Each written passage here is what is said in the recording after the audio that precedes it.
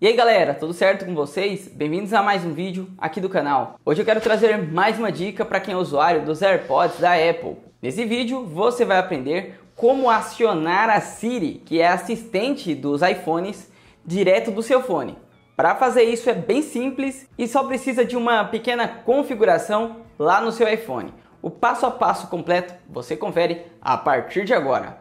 Então ali está o nosso AirPods Pro. Vou pegar o meu iPhone e com ele já conectado aqui no meu dispositivo, você vai abrir as configurações. Aqui nas configurações você vai em AirPods Pro, vai aparecer aqui já na parte superior, clique em cima.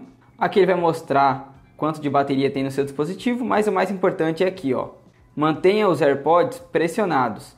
Então aqui você vai escolher o lado, seu lado direito ou lado esquerdo. No caso, vou colocar aqui lado direito por padrão, veja que ele está configurado, abrir o atalho de controle de ruído. Então eu vou clicar aqui no lado direito e aqui na parte superior você pode configurar para ele abrir a Siri, né? Então é só você clicar aqui e depois de habilitado já está pronto. O atalho já está em funcionamento. Então após isso, talvez seja interessante você reiniciar os seus fones. Para fazer isso, você simplesmente volta eles para o estojo e após isso fecha a tampa. Aguarde alguns segundos, depois é só abrir a tampa e retirar os fones novamente e fazer a conexão com seu iPhone.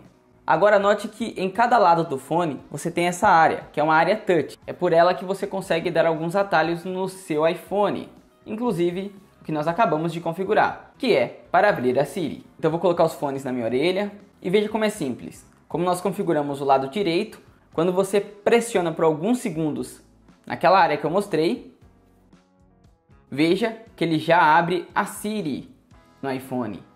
E é só você perguntar para ela aquilo que você quiser. Então é dessa forma que você consegue usar a Siri com os AirPods. Bom pessoal, então esse foi mais um vídeo, eu espero que você tenha gostado.